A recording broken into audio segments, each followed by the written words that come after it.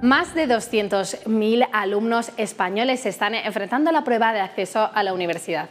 Lo que antiguamente se llamaba selectividad ahora se llama EBAU y consiste en un examen imprescindible para acceder a los grados y carreras de los centros universitarios españoles. Pero ¿cómo se calcula esta nota? Esta nota se calcula en un 60% con el expediente de bachillerato, es decir, del primer curso y del segundo curso de bachillerato se hace una media y esto es el 60% de la nota final del acceso a la universidad.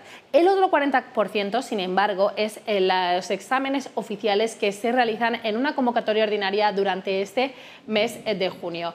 Con lo cual, con la media del examen eh, de la EBAU propiamente dicho, que es el 40%, más el 60% del expediente de bachillerato, tendremos eh, la nota que es la nota de corte con la que se podrán acceder a los grados universitarios.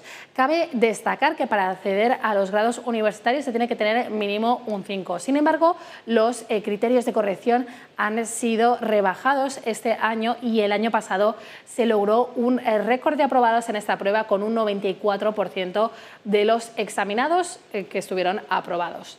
Con lo cual, desde Mundo TV les deseamos mucha suerte a todos estos eh, cientos de miles de alumnos que están tratando de acceder a la universidad y les deseamos que obtengan la nota de corte deseada para la carrera universitaria que quieran desempeñar.